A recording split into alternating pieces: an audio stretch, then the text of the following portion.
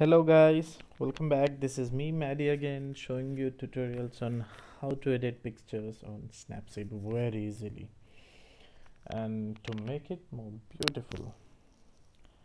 Uh, guys, this is an image which I took the place named Chandrapur which is situated in Assam. Uh, I took this pic when I was a beginner uh, like two to three years before I used to travel many places to uh, photograph new pictures every day because I like to travel a lot. I literally like to travel a lot. And this pic I took it after golden hours. I took many pictures during golden hours. I'll edit those pictures on my upcoming videos and I'll show you that uh, how the pictures were and the clouds that did they were literally awesome guys believe me they were literally awesome okay? Uh, so what am I gonna do is that I'm gonna show you all that how to um, convert this image from an underexposed image to a properly exposed image okay? So we'll start with the tune imaging as I always do and let's go. We'll go with the brightness. We'll increase the brightness. Mm that looks perfect to me. Contrast. Uh, guys will uh, use the tool contrast later and I'll tell you why. And saturation yes a bit saturation. I want it to be increased to 10 uh, yeah yeah ambience.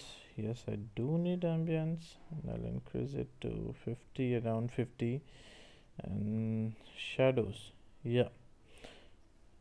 Uh, guys as our image is like a bit underexposed right? As you all can see.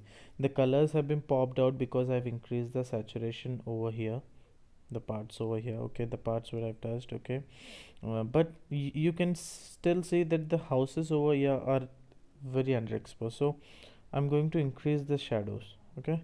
Look.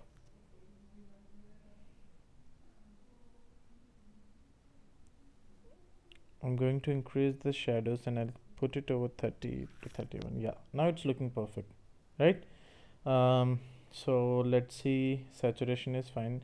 Uh, yeah now we can use the contrast. And let me tell you guys that why uh, why contrast is important in this image or what does it affect what effect does it give on any kind of image? Okay if you reduce the contrast you can see that it gives the foggy effect in image okay? For example if you have take if you if you have taken image uh, at any time but you want to uh, give it an effect where it shows the early morning uh, scene okay? Then you can use the decrease the contrast but in this image I'm going to increase the contrast a bit and I'm gonna put it over minus uh, plus 5 and yeah that is perfect I think so from my point of view. And saturation is uh, saturation. Why do you increase saturation? As I always told you uh, already told you and, and in my previous videos also I have uh, shown you that how it brings out the color inside an image. Look. But it's like uh, too much like colory and I just don't want it in my image and I'll keep it to 10 to 15 yeah that is fine that is perfect. 15 is perfect or you can put it up to 20 if you want to depends upon you. But I'll keep it around 15 to 16 yeah that's fine. Yeah ambience we have already increased and highlights we do not want to increase the highlights in this image because the image has been properly highlighted right now okay? So we'll save it uh, yeah. Let me show you all guys that how the image was before I've edited it and now it looks like this. This was the image before and now it looks like this okay? Next is details. Uh, guys you can see the clouds right over here. The tree over here this tree this tree. And the all every part everything in an image it will be like uh, prop the shape it will take its proper shape once you increase the structure in detail. Look. I've totally increased the structure okay? I've totally increased the structure but you do not want to do this because it's it will look uh, like uh, crayon effect in image but we'll just increase the structure bit so that it looks proper and fine and we'll keep it to 20 yeah that's perfect and we'll sharpen it a bit okay. Look this was the before image guys and now it looks like this. Okay? I literally love this image. I just don't know but I do love this image because it looks like perfect composition. Look the houses sunset trees flowers everything. So uh, am I gonna crop it? Let me see you can crop it if you want to. Look. Yeah it's fine. And white balance? Yeah definitely we'll use the white balance. Uh, we're not going to decrease the temperature we're going to increase it. Look. So um, just want the yellowish effect in the image so I'm going to increase it and keep it around 20 to 21 not 21 20 or less than 20 17 to 8 yeah this is perfect.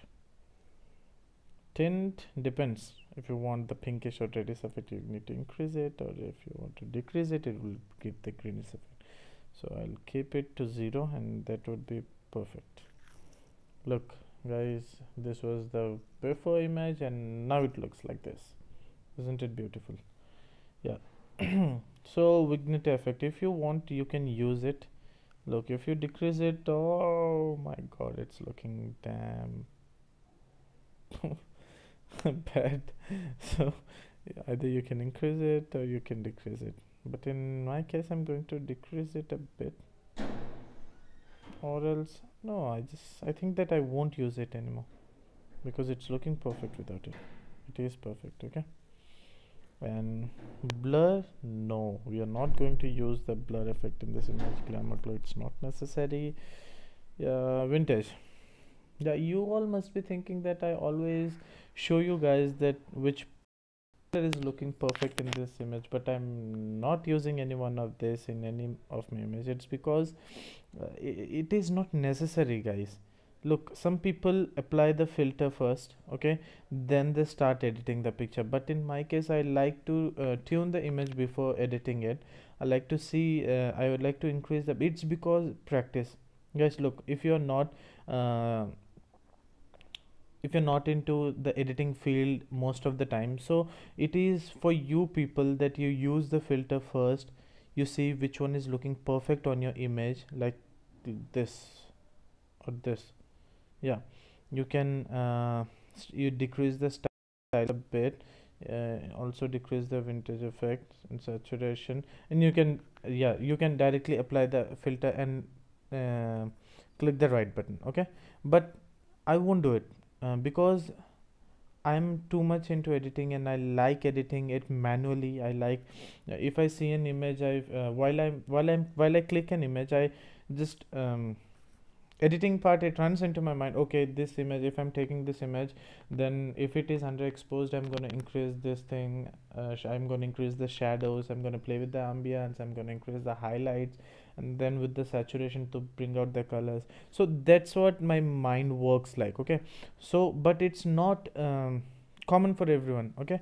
Guys like for you beginner if you're beginner and if you don't know how to uh, edit properly by each you don't know each and every effect of the uh, of the filter or the tools they are giving you in an app so you can use this filter. Yeah you can see directly which filter is looking proper on the on your image okay so if you think that this is looking perfect then go to it. Use this filter apply it and just decrease the brightness or increase the brightness the way you want to decrease the style strength or increase the style strength.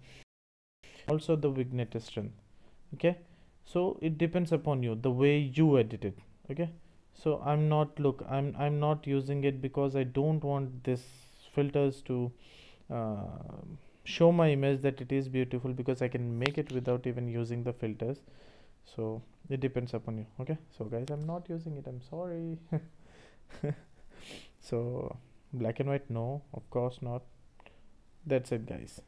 This is the only thing i think it is looking perfect and we're going to just decrease the brightness a bit and yeah that's looking perfect right now okay guys go to my channel. Please do subscribe my channel. I need your likes and comments. If you have any type of question any type of question just keep it in the comment below and i'll reply to your questions.